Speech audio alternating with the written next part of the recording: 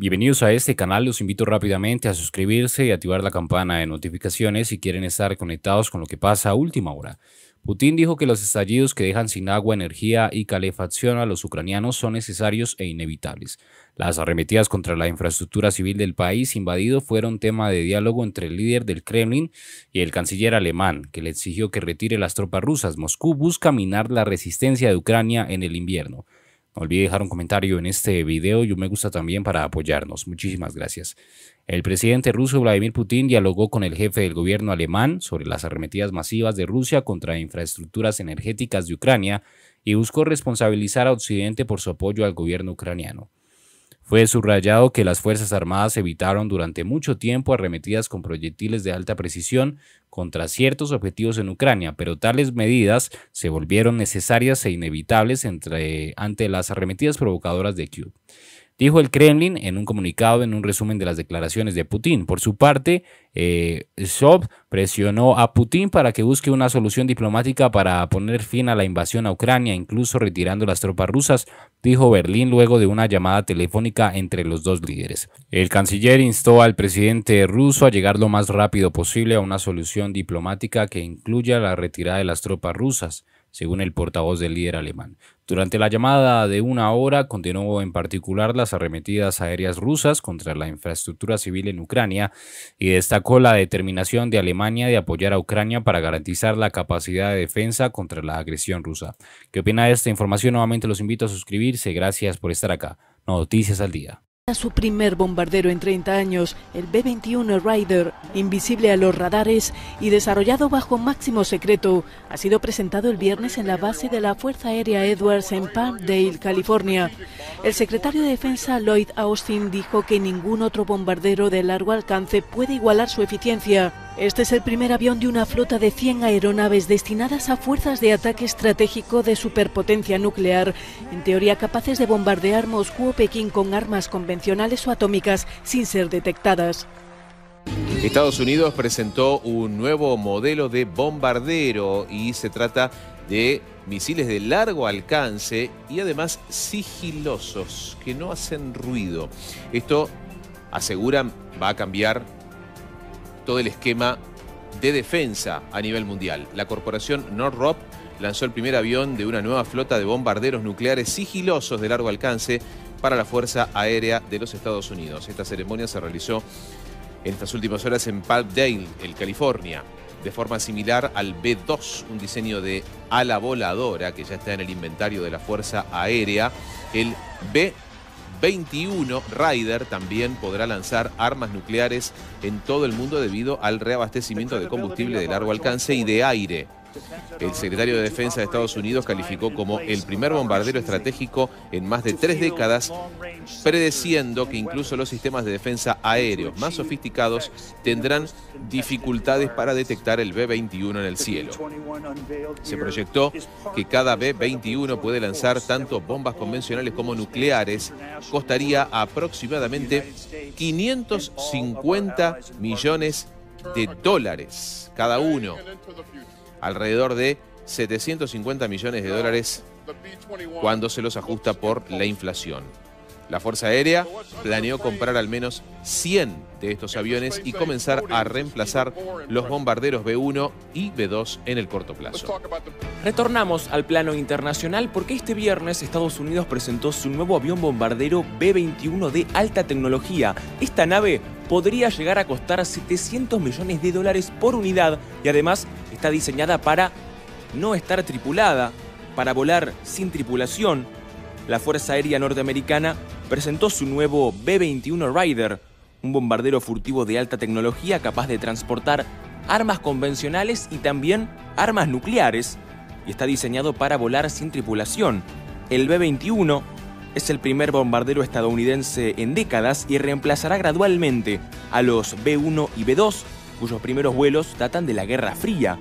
El B-21 será la columna vertebral de nuestra futura fuerza de bombarderos, tendrá el alcance, el acceso y la carga explosiva para incursionar en las zonas más conflictivas, dijo la portavoz de la Fuerza Aérea estadounidense Anne Stefanek. El primer vuelo de un B-21 se espera para el año próximo y la Fuerza Aérea espera comprar al menos 100 aparatos de este tipo. Muchas especificaciones de la nave no fueron reveladas, pero debería ofrecer avances significativos frente a los bombarderos de la actual flota estadounidense. La tecnología furtiva ha existido desde hace décadas, sin embargo, dicen que el B-21 dispondrá de la última generación. Bien, ahí tenían amigos de Videos Mundo las repercusiones en la prensa internacional. Debemos añadir que las agencias señalan de que Estados Unidos presenta un extraordinario bombardero furtivo mirando a China, el aparato B-21 Rider cuenta con avances tecnológicos que lo hacen invisible con capacidad de lanzar bombas nucleares y volar sin piloto. ¿Qué tal? Ah? Estados Unidos está a punto de poner en el aire un extraordinario avión bombardero furtivo que es posible escucharlo pero no verlo, diseñado en secreto durante años como parte de la respuesta del Pentágono al crecimiento militar de China y así también de Rusia. El aparato es un auténtico monstruo tecnológico que incluso puede volar sin piloto. Es lo que señalan amigos de Videos Mundo las agencias de información. ¿Qué más se dice? El B-21 Rider es el primer bombardero estadounidense nuevo en más de 30 años. Casi todos los aspectos del proyecto están clasificados. Las representaciones artísticas difundidas hasta ahora revelan un ligero parecido con el B2 Spiritus, que es el modelo que reemplazará. El bombardero es parte de los esfuerzos norteamericanos para modernizar las tres patas de su triada nuclear, que incluye misiles balísticos atómicos lanzados desde silos, desde submarinos y desde el aire es un paso atrevido con la mirada puesta particularmente en la República Popular de China y así también de Rusia.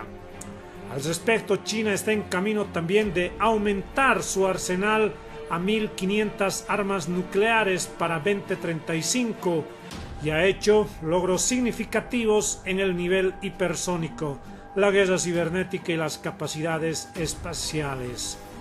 Según el Pentágono, en su informe de esta semana, el gigante asiático presenta hoy el desafío sistémico más importante para la seguridad de Estados Unidos.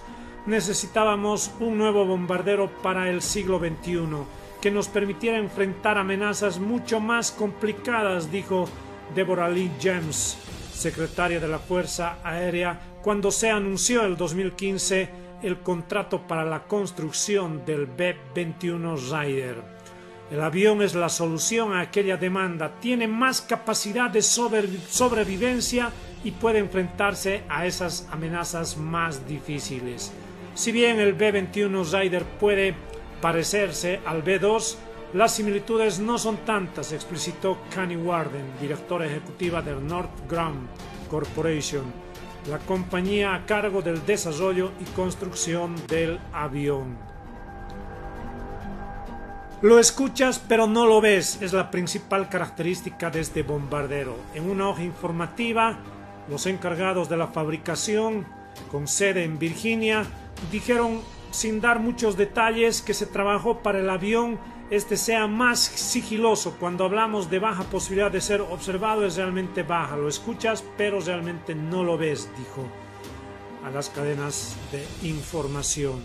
Bien amigos de Videos Mundo, ¿qué opinan ustedes? Déjenme sus comentarios.